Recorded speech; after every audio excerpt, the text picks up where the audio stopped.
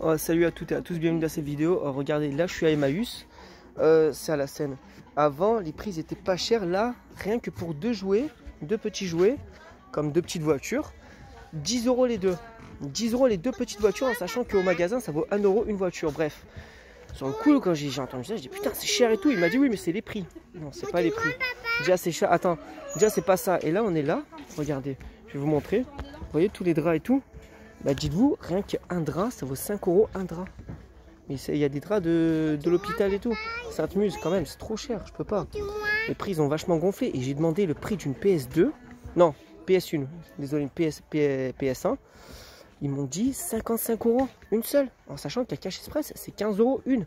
C'est beaucoup trop cher. Emmaüs, c'est des. J'ai même pas envie d'insulter ou de dire de la merde. C'est trop, c'est trop, c'est de la merde. Ça vaut même plus le coup d'acheter là-bas. Voilà, fallait que je dise un peu un coup de gueule. Hein.